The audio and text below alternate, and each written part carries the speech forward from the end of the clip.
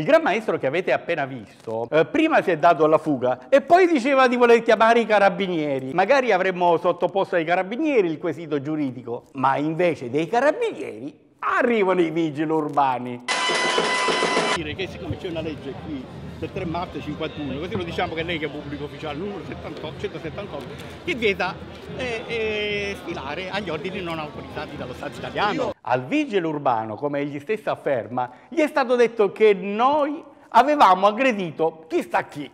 E visto che lui è intervenuto prontamente per redarguirci, noi invece lo abbiamo investito ufficialmente e in modo chiaro. Allora se lei ci viene a dire questo, noi la dobbiamo investire, la dobbiamo investire ufficialmente. che si sentiva aggredito, così mi ha detto. Aggredito? Aggredito vuol dire, Ecco aggredito. perché vuol dire sto raccomandando. Aggredito noi lo sappiamo fino a quando che della legge dello la Stato che lo vieta. Sta travisando anche l'argomento. No, la non sto lamentela di un utente che Sì. si è sentito aggredito. Perfetto, se questo possiamo andare tutti quanti al commissariato e andiamo a discutere Ma io quanti non ho capito la sua- lo, lo spirito di questa Lo spirito è che c'è una legge che deve essere eh, rispettata, principalmente anche da lei che sta dicendo che è pubblico ufficiale. Ma l'unica cosa che ci ha detto il vigile urbano era che lui non poteva rilasciare interviste. Personalmente Quindi, non posso rilasciare allora, alcune interviste. perfetto, no. Evidentemente non aveva ben compreso il vigile che quella discussione chiarificatrice non era un'intervista, ma era una vera e propria denuncia.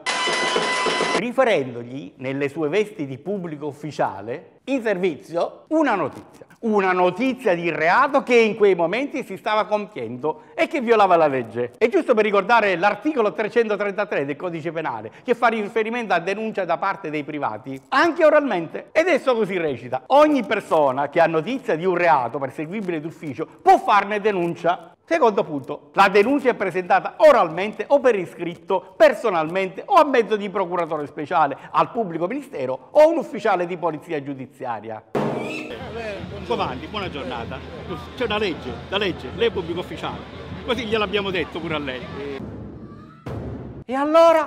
Ma per quel vigile urbano noi stavamo facendo solo dello spirito, così ci ha apertamente detto.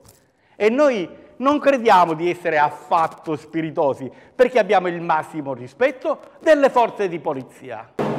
E siamo andati a raccontarlo al suo comandante, il dottor Pietro Belfiore, comandante della polizia locale di Catania. Poco fa stiamo trattando la legge degli ordini, la legge 3 maggio del 1951, numero 178. Gli ordini paraccari, parliamo di questo qui. Eh, mentre che stavamo discutendo con l'articolo 7 che i cittadini italiani non possono usare il territorio italiano, eh, mantenere e quant'altro, si è avvicinato un suo vigile. Noi volevamo informarla che eh, c'è questa vicenda di questo vigile, questa è la legge, io credo che lei adesso in veste di pubblico ufficiale, abbiamo parlato già col vice sindaco, Ora lo verifichiamo. Facciamo grazie, volevo informarla per il discorso questo qua. Grazie per la sua cortesia, buona festa. Forse il comandante Pietro Belfiore e il suo vice non hanno ben compreso che li abbiamo implicitamente investiti della notizia di reato di cui è l'articolo 333 del codice penale. Il comandante ha detto, ora lo verifichiamo, ma cosa e con chi al momento non è dato sapere. Continuiamo il nostro approfondimento con Valentina Aloisi. Ordine di- del collare di Sant'Agata di Paternò. capito? Ma è un ordine riconosciuto dall'ordinamento della Repubblica Italiana, il suo? E, e infatti penso no, perché gli ordini in Italia non sono sotto la Costituzione riconosciuti, ma sono un- qui in Sicilia un- è, è l'ordine della famiglia di Paternò. I Paternò erano Capito, re capito. di Sicilia tanti anni fa e celebriamo atti di carità. Questa è la nostra celebrazione oggi. Ma lo sai che in Italia è vietato, è passibile di sanzione, non si possono Ah, sì? poggiare decorazioni, stemmi Eh, insegne eh, senza un'autorizzazione. Sì, io non le parole per dare a te l'informazione che ho sentito, ma sono qui perché sono bravi uomini che fanno bravi atti di carità. Noi siamo, apparteniamo a un'organizzazione che è il PTHM ed è il priorato del Tempio Gerusalemitano di Michael. Ma lei lo sa che non è un ordine autorizzato dall'ordine? Ce ne sono tanti che non sono Italiana? autorizzati, Sì, noi lo sappiamo. Noi siamo appoggiati, ci appoggiamo in una chiesa cattolica dove ci ospitano, Sì. Facciamo sa beneficenza. che comunque i cittadini italiani non possono usare nel territorio della Repubblica onorificenze, distinzioni cavalleresche. Ma noi non siamo un ordine, ho detto siamo un'associazione. Perfetto. Quant'altro. Avvocato, venga. Ecco, uni- Questo è il Buongiorno, nostro avvocato, la conosco già. Avvocato. Buongiorno. Signora Vincente, Ma voi non voi state girando? Buongiorno avvocato, ci rincontriamo. un momento piacere, grande, grande. Lo conosco, l'ho sentito. Abbiamo un quesito da fare. Avevamo un quesito da porle, visto che lei è qui presente Oggi, oggi. proprio no, la festa di Sant'Agata. No, no, ma noi vogliamo semplicemente fare una domanda semplicissima. Se voi siete posso- un'associazione, non un ordine, ma sa che comunque l'articolo 7 della legge eh, del 51-178 vieta ai cittadini italiani di utilizzare eh, nel territorio della Repubblica eh, onorificenze o distinzioni cavalleresche conferite, eccetera. Ma infatti eccetera. noi non siamo un ordine cavalleresco. Noi siamo una congregazione. Scusi, prima la domanda la rivolga praticamente È un rimbalzo continuo. al, A sue- al- ascolta, abbiamo un Eh, rappresentante, naz- scusa, scusa, abbiamo un rappresentante nazionale dell'ordine, il dottor Raffaele Sepe, grande giornalista e lui diciamo appartiene alle forze dell'ordine. Dottoressa quindi- Valentina Luisi Sì. dell'indiscreto programma indiscreto Sisi Inside Web TV. Yes. Le volevo chiedere come mai eh, durante la festa di Sant'Agata fate queste sfilate così Si chiamano pompose, processioni. processioni con abiti pomposi e quant'altro.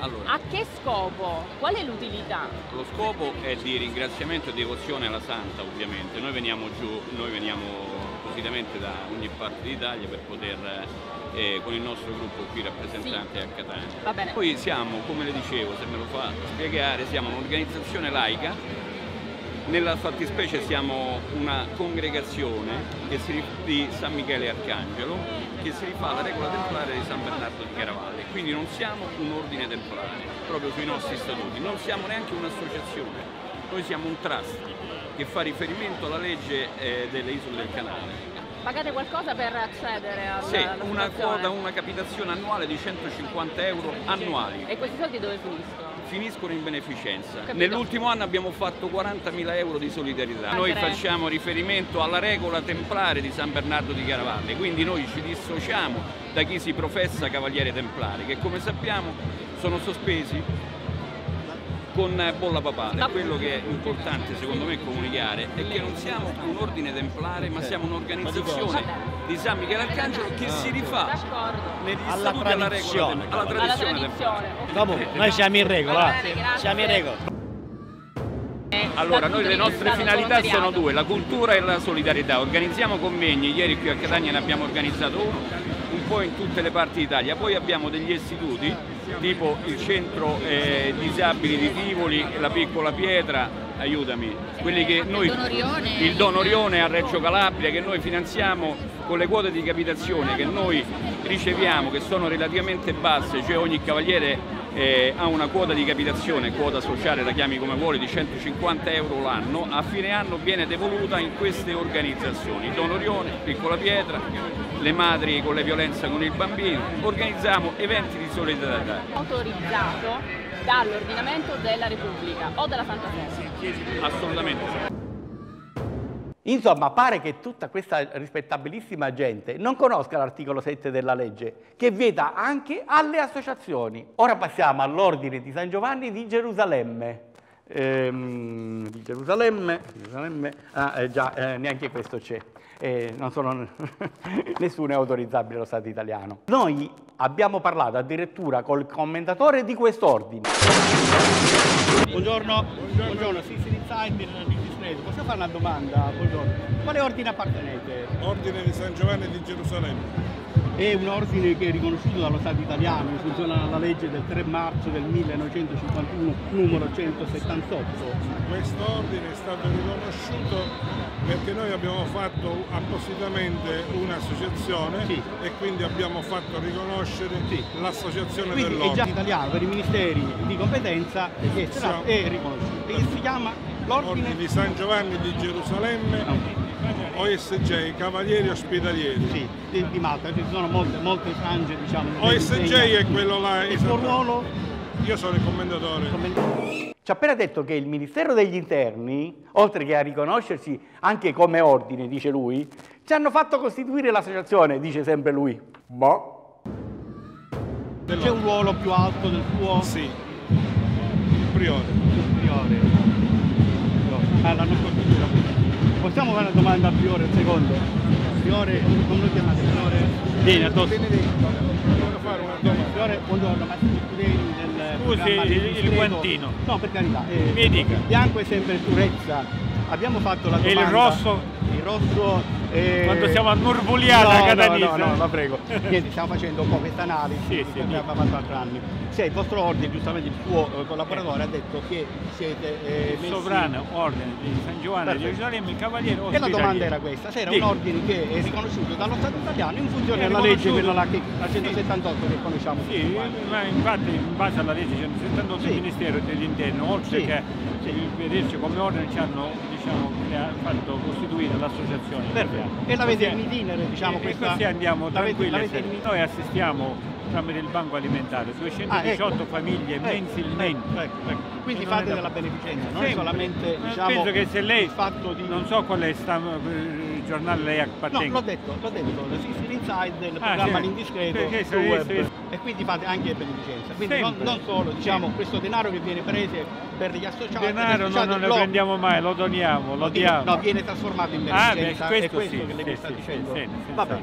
Allora, grazie, buona festa. Grazie a lei. Ci vediamo il prossimo anno. Speriamo. No, è da tre anni che la guardiamo, quindi Ah, quest'anno io- abbiamo io avuto per questo mi il metto il per- abbiamo, il pernacchio abbiamo per avuto il piacere quest'anno di conoscere personalmente e di parlare con molta cordialità. Affare fatto. Noi restiamo sempre al nostro parere della legge e il rispetto della legge.